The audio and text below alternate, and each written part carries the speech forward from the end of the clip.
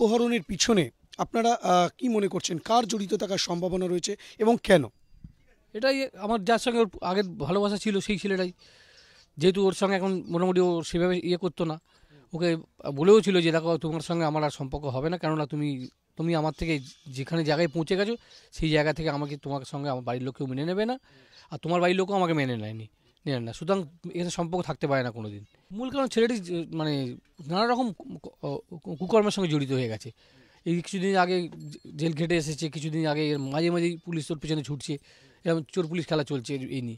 তো এই সে- আমি জেনে শুনে তো বাবা হয়ে একটা মেয়েকে এইভাবে আমি দিতে পারি না?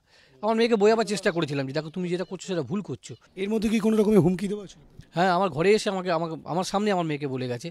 যে মেয়েকে শুধু না মেয়েকে তো গুলি করে মেরে দেবেই যদি কিছু হয়। উপরন্ত আমাদের সকলেকে মেরে দেবে। এরকম একটা হুমকি দিয়ে গেছে। কবে হুমকি দিয়েছে? এই ব- দিন তিনেক আগে। কেন এই হুমকি দেওয়াটার কারণটা কি? কারণ ওর সঙ্গে ও আর মানে ফোন ধরছে না ওর ওর ফোনের সঙ্গে কথা বলছে না কোনো রকম ওর সঙ্গে যোগাযোগ রাখছে না এই জন্য। না, আপনারা কি থানায় মৌখিকভাবে জানিয়েছিলেন কি? থাক মানে থানাতে মৌখিকভাবে আমি পরে জানালাম। এই তো যখন আমার বাড়িতে এসে থ্রেট দিল তারপরে মৌখিকভাবে জানালাম।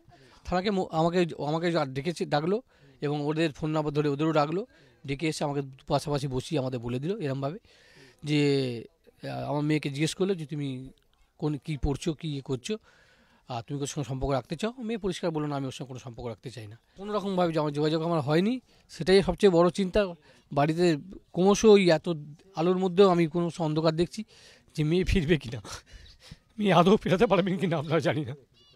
আমি বুঝতে পারছি না আমি কাউকে মানে এখন কোনো রকম ইয়ে করতে পারছি না কারোর উপর বিশ্বাস রাখতে পারছি না। কি আশঙ্কা হেল্প করছে থানা আমাকে ডাকছে থানা আমাকে যোগাযোগ রাখছে এটুকু বলছি আপনারাও আসছেন। আমার মেয়েকে কীভাবে কী ফেরত দেবেন আমরা দেখুন। যে হোক আমার মেয়েকে ফেরত দিতে হবে আমাকে